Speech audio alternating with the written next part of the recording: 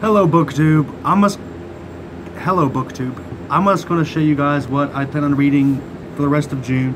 This isn't all of them, but this is like a general idea.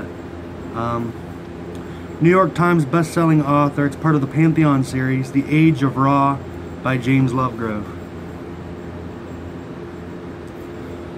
The ancient Egyptian gods, I guess, divided the world in a bunch of little quadrants and stuff. So this will be pretty good. This is The Age of Ra.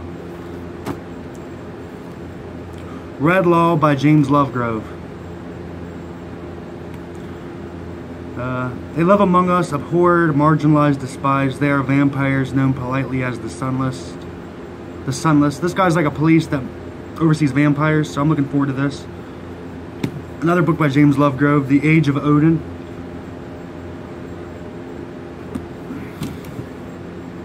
The book that got me started with James Lovegrove was The Age of Zeus which I would encourage you to check it out. It's about 450 pages thick, but it's pretty good.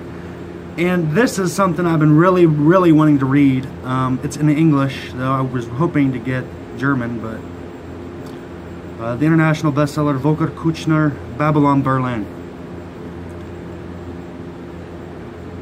Yay! This takes place during the Weimar Republic before the rise of Nazism and after the fall of the Kaiser. Brian Keene, Pressure. I've heard good things about this on Goodreads, so and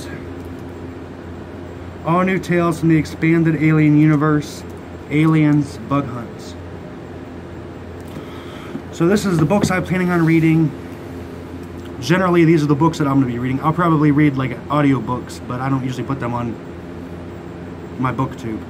Um, right now I'm listening to Bury My Heart at Wounded Knee. It's pretty good. I'm looking forward to it. So I will like and subscribe and please feel free to comment below and I look forward to seeing your comments. Auf Wiedersehen.